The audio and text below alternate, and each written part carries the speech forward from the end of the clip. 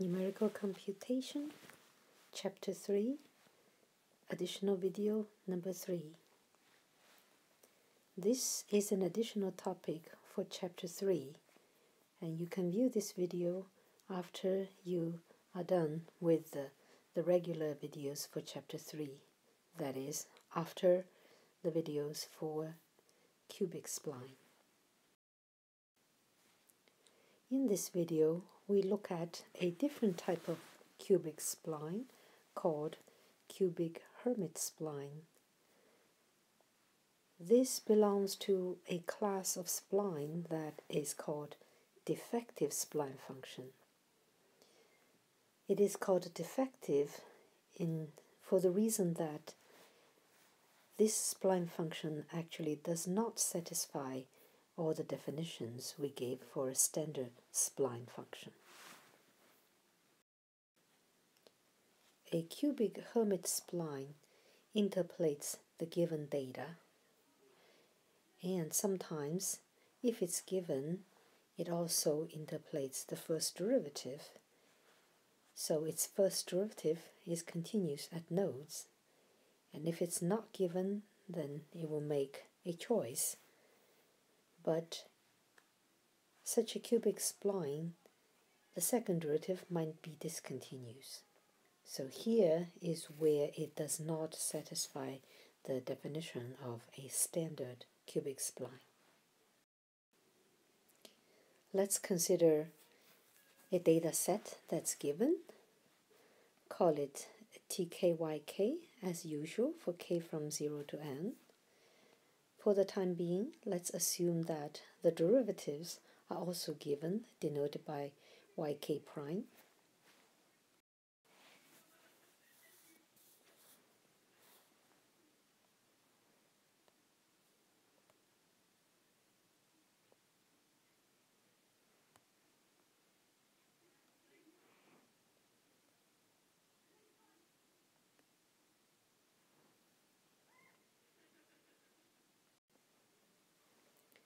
So on each interval from tk to tk plus 1, we seek a cubic polynomial, we call it hk of x, such that it interpolates the data and satisfies the first derivative.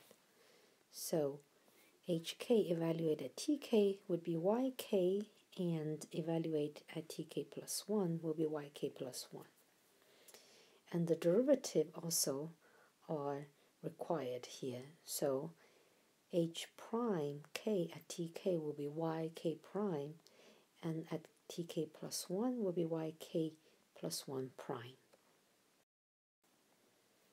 Recall that in chapter 2 we introduced the cubic Hermite basis function for the interval from 0 to 1. So let's review that denote the independent variable by x bar, which lies from 0 to 1, we have these basis functions. Phi 0, phi 1, psi 0, psi 1, where phi 0, phi 1s are the basis functions for the function values, and uh, psi 0, psi 1 are the basis functions for the derivatives you might want to review that video. And now, if one considers a general interval from tk to tk plus 1, one can do a linear translation and rescaling and rewrite the basis functions. So they are given here. So we have phi 0, phi 1, psi 0 and psi 1 and now we call our variable x because this is a general variable for a general interval. Compare these basis functions to the one on the interval from 0 to 1. We notice a lot of similarities. Now one can also easily verify that these basis functions have the properties for a basis function. such that, say, for phi 0, if we check its value at tk, tk plus 1, and its derivative at tk and tk plus 1, all of these should be 0 except for the function value at tk, which shall be 1. Now for the function phi 1, it carries a similar property. We can view here in the second line. We see these values are all 0 except the function value at tk plus 1 is 1 and that's where the basis function is defined for. So for psi 0, this is a basis function for the derivative at tk. There it takes value 1 and all the others are 0. For the function phi 1, we see that the derivative at tk plus 1 is 1, while the other three values are 0. Now we can assemble the piecewise polynomial function using the basis functions in a standard way. We multiply the basis function by the value that it represents, and then we add them all up. This is called a linear combination. So phi 0 is multiplied by yk, and phi 1 is by yk plus 1, and psi 0 yk prime, and psi 1 yk plus 1 prime. And then we add them all up to form a polynomial, which is a cubic polynomial, and the polynomial is for the interval from tk to tk plus 1. So this would be the polynomial for one to use if the derivatives, the first derivative, are given at all the knots. Then this will be your cubic spline. But very often, one only has the data set tkyk without specifying the derivatives, and we still wish to find a Hermite, cubic Hermite spline. Then there are various ways one can use to approximate the first derivative. For example, we can approximate it using um, some kind of a central finite difference.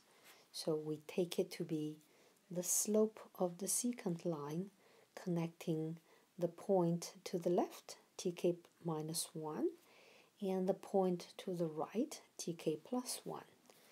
So you connect those two data points and take the slope of that secant line and use it as an approximation to the first derivative at tk.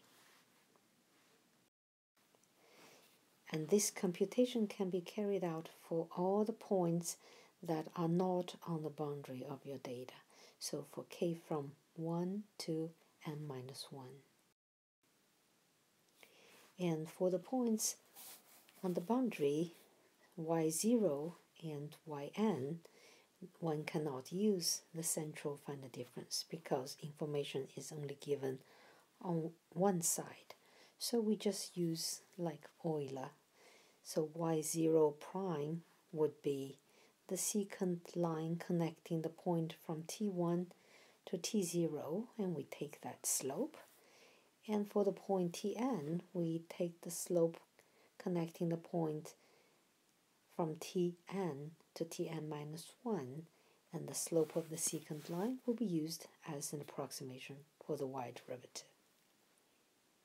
So once an approximation for the derivatives are given, we can put them back into the formula on the previous page and form the cubic Hermite spline functions. And that's all for this video. Thank you for watching.